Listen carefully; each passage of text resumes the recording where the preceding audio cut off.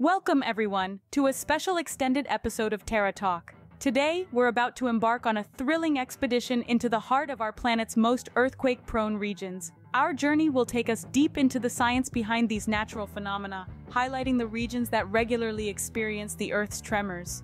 Earthquakes, those unexpected and often terrifying reminders of our planet's raw and untamed power, are a force that commands respect and understanding. They are the Earth's natural rhythm, a dance of tectonic plates beneath our feet, reminding us of the dynamic world we inhabit. As we begin this exploration, we will venture into the very science that underlies these seismic events. We will discover the intricate dance of the Earth's crust, where tectonic plates grind, slip, and collide, releasing bursts of energy that ripple through our world as earthquakes. From there, we will journey around the globe, visiting the regions most susceptible to these seismic events. We'll explore the infamous Ring of Fire, a hotbed of seismic activity, and the Alpide Belt, another significant earthquake zone. Throughout our journey, we'll unravel the interconnectedness of these regions and the geological processes that make them so seismic. In addition to understanding the science and geography of earthquakes, we will also delve into the human aspect. After all, these high-risk zones are home to millions of people who have learned to live with the constant threat of earthquakes. We will learn about their experiences, their preparedness, and their resilience in the face of this unpredictable natural phenomenon. Our journey promises to be both enlightening and humbling, revealing the immense power of our planet and the remarkable resilience of the human spirit. So buckle up and get ready for a geological adventure like no other. Understanding the areas most susceptible to these tremors allows us to appreciate both the geological processes at play and the importance of preparedness. Before we delve into specific regions, let's revisit the science behind earthquakes. Our planet is like a colossal jigsaw puzzle, the pieces of which we call tectonic plates. These plates, making up the Earth's crust, are not static but constantly on the move. They slide, grind, and bump into each other, driven by the heat radiating from the Earth's core. Just imagine a pot of boiling soup with the bubbles representing the heat driving the movements of the tectonic plates. Now what happens when these plates interact? Well, it's not exactly a smooth dance. They jostle for space, creating points of intense pressure. When this pressure becomes too much to bear, it releases in a burst of energy, this energy, like ripples spreading across a pond when you throw a stone, travels through the Earth's crust, causing the ground to shake. This, my friends, is an earthquake. But how do we measure earthquakes? Enter the Richter scale. Developed in the early 20th century by Charles F. Richter, this logarithmic scale gives us a quantifiable measure of the energy released during an earthquake. But remember, each whole number increase on the scale represents a tenfold increase in measured amplitude and approximately 31 times more energy release. So, a magnitude 6 earthquake releases 31 times more energy than a magnitude 5. Earthquakes come in all sizes. Some are so slight that they pass unnoticed, only detected by sensitive seismographs. These minor tremors happen daily around the world. Others, however, are not so gentle. Major earthquakes, those of magnitude 7 and above, can cause catastrophic damage. Buildings can crumble, roads can buckle, and the human cost can be tragically high. Remember the great San Francisco earthquake of 1906? That was a magnitude 7.9 quake. It resulted in widespread destruction and claimed the lives of over 3,000 people. More recently, the 2010 earthquake in Haiti, a magnitude 7.0, resulted in the deaths of an estimated 230,000 people. These events remind us of the immense power of Mother Nature and the potential for destruction that earthquakes hold. However, it's essential to remember that understanding and studying these geological processes can help us mitigate the impact of such events. Seismologists, those who study earthquakes, work tirelessly to understand these phenomena better. Their research can help predict potential earthquake hotspots and inform the design of buildings and infrastructure to withstand seismic activity. While minor tremors might go unnoticed, large earthquakes can inflict devastating damage on infrastructure and lives. So, as we journey through the world's most earthquake-prone regions, let's not forget the crucial role of understanding and preparation in safeguarding our future. Now let's set our sights on the infamous Ring of Fire. This formidable region, a testament to the Earth's dynamic nature, is a winding horseshoe-shaped belt of seismic and volcanic activity.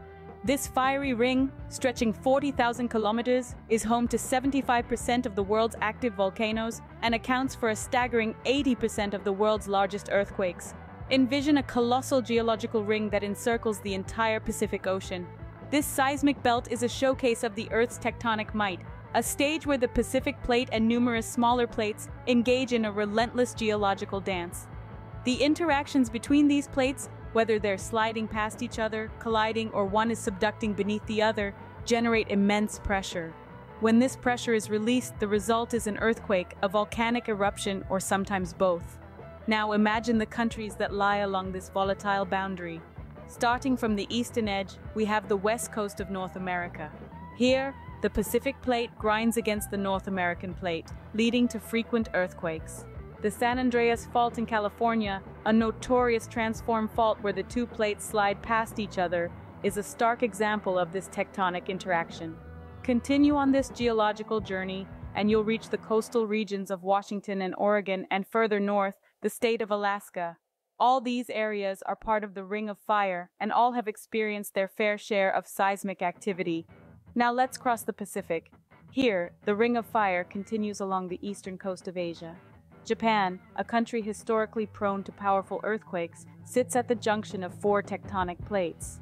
The Pacific Plate, once again, plays a significant role, subducting beneath the other plates and causing regular tremors. Swing southwards along the Ring of Fire, and you'll encounter more countries that bear the brunt of the Pacific Plate's movements. The Philippines, Indonesia, and New Zealand, these nations are all too familiar with the Earth's turbulent nature. Finally, let's traverse to the western edge of the Pacific, where the Ring of Fire culminates in the countries of South America. Chile, in particular, is no stranger to seismic activity. The Nazca Plate subducts beneath the South American plate here, causing some of the most powerful earthquakes ever recorded. So there you have it, a whirlwind tour of the Ring of Fire. This geological hotspot, spanning three continents and numerous countries, is a stark reminder of the Earth's ever-changing nature. From the west coast of North America, across Asia, and down to South America, the Ring of Fire's influence is vast and undeniable. But why is this information important? Well, understanding the Ring of Fire, its tectonic mechanisms, and its influence on global seismic activity is crucial for earthquake preparedness and risk mitigation. By studying these high risk zones, scientists can better predict seismic activity, potentially saving lives and infrastructure. Moreover, this knowledge also serves as a fascinating glimpse into the Earth's inner workings. It's a reminder that our planet is not a static entity, but a dynamic, constantly evolving system. Our Earth, for all its serene beauty, is also a planet of fiery rings and trembling ground. We can't forget New Zealand, Indonesia, the Philippines, and Chile all residing within this fiery belt of seismic activity. To delve deeper into the Ring of Fire, let's welcome Doctor, a renowned geologist specializing in plate tectonics. Thank you for having me. The Ring of Fire, as you rightly mentioned, is a hotbed of seismic activity. This is largely due to the convergence of several tectonic plates, including the Pacific Plate, the Philippine Sea Plate, and the Cocos and Nazca Plates, among others. This convergence creates what we often refer to as a subduction zone, where one plate is forced beneath another. Interesting! Could you shed more light on these subduction zones and their significance in the Ring of Fire? Certainly, a subduction zone is essentially a collision site. When an oceanic plate meets a continental plate, the denser of the two, typically the oceanic plate, is forced beneath the other. This process is incredibly slow, with plates moving at rates of a few centimeters per year. However, over millions of years, this leads to the creation of deep ocean trenches and volcanic arcs. The process is also responsible for the majority of the world's largest earthquakes and tsunamis. Wow, that's a powerful force at work. Now, you also mentioned something about transform faults. Could you explain that for us? Absolutely. Transform faults, unlike subduction zones, involve plates sliding past each other horizontally. This sideways movement can cause significant stress buildup over time. When this stress is finally released, it results in an earthquake. A well-known example of a transform fault is the San Andreas Fault in California. That's quite fascinating. So within the Ring of Fire, we have both subduction zones and transform faults contributing to the seismic activity. Yes, that's right. And it's worth mentioning that these are not isolated, disjointed processes. They're part of a complex, interconnected system. When an earthquake occurs at a subduction zone, it can trigger seismic activity along nearby transform faults, and vice versa. The interactions and dependencies within this system make the Ring of Fire a particularly dynamic and volatile region. And I suppose this interconnectivity also contributes to the unpredictability of seismic events. Indeed, predicting the precise timing, location, and magnitude of an earthquake remains one of the grand challenges in earth science. While we've made significant strides in understanding the mechanisms behind earthquakes, much remains to be learned. This is why continued research and exploration in regions like the Ring of Fire is of paramount importance. Thank you, Doctor, for these valuable insights. Moving away from the fiery Pacific, we encounter another major earthquake belt, the Alpide Belt. This seismic hotbed stretches expansively, beginning from the Mediterranean Sea and extending across Asia, all the way to the southern tips of the Atlantic Ocean. This colossal belt accounts for roughly 17% of the world's largest earthquakes, making its presence felt in the realm of geology. The Alpide Belt, while not as notorious as the Ring of Fire, is a force to be reckoned with. It's a complex region where multiple tectonic plates jostle for space, creating a state of constant geological flux. This friction between the plates results in frequent and sometimes devastating earthquakes. But it's not all about destruction and chaos here. The Alpide Belt is also the birthplace of some of the world's most breathtaking mountain ranges, including the towering Himalayas. These are not just stunning natural wonders, but also the tangible evidence of the intense tectonic activity happening beneath our feet. Imagine the sheer force it takes to push the Earth's crust up into these soaring peaks the same force that triggers those ground-shaking tremors.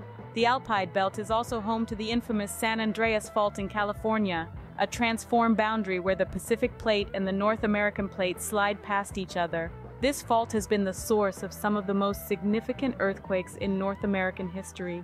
It's a stark reminder of the raw power that lies just beneath the surface of our planet. Let's take a closer look at some of the regions within the Alpine Belt. Iran, a country known for its rich history and culture, is also a hotspot for seismic activity. Over the centuries, it has witnessed countless earthquakes, some of which have had devastating effects on its population and infrastructure. Similarly, Turkey, nestled between the Aegean Sea and the Black Sea, is another country that sits atop this seismic belt.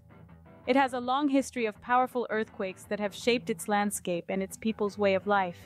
Italy, with its rolling landscapes and iconic architecture, is also no stranger to the tremors of the Alpine Belt.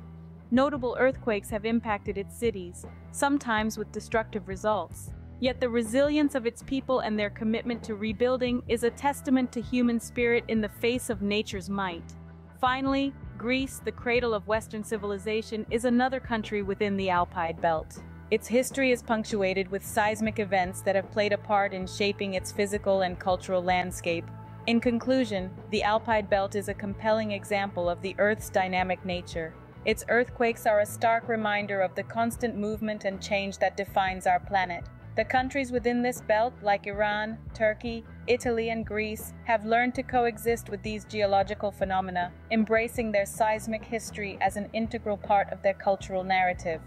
Countries like Iran, Turkey, Italy, and Greece all fall within this zone and have a long history of experiencing powerful earthquakes. Living in an earthquake prone region comes with its unique challenges and responsibilities. One of the first steps towards earthquake preparedness is ensuring that our buildings and infrastructure are up to the task.